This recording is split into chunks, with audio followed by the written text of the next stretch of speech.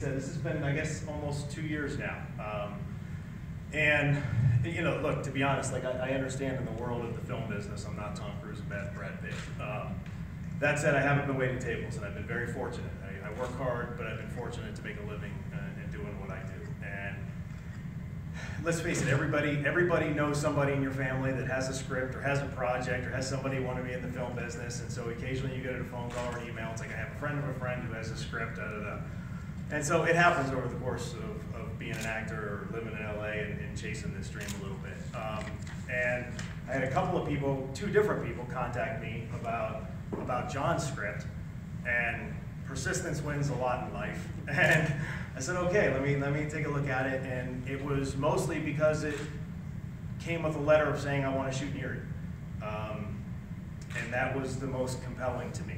Uh, so he was already he was already he was already going downhill there um, because look I, I, had a pretty story I had a pretty storybook high school career here and I think as a kid you really don't pay attention as much to the maybe economic struggles or maybe some of the negative or challenging things that happen to a community. You're just kind of caught up in your own world. In my particular world at Girard and being an athlete in, in a community that, died by that particular sport and everybody went to the games was pretty, was pretty Hollywood script, to be honest with you. And what that did was ingrain a, not just a memory for me, but a commitment and a passion for this area. And I, I was at, I, I, get asked all the time. I, I, do some local press occasionally, and they ask, "What's it like coming home?" And I moved back to Pennsylvania seven years ago, and Girard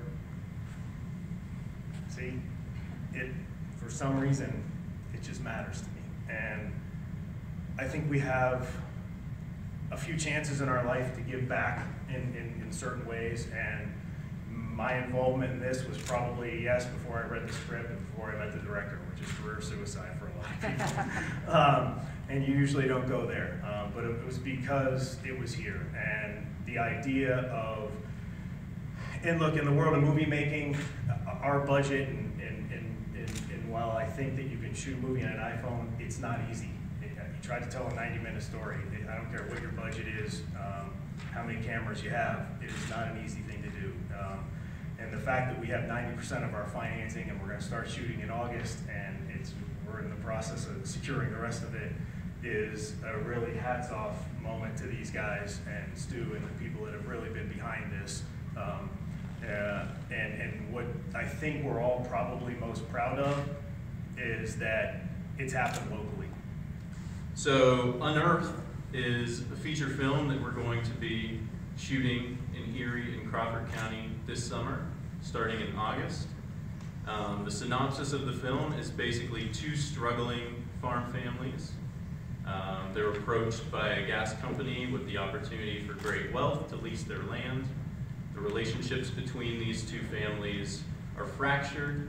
Um, as the ground is drilled, there's something uh, besides natural gas that's released from the shale and things go downhill and our families uh, have to try and survive and uh, make it through. So, timely film, um, and we're excited to make it.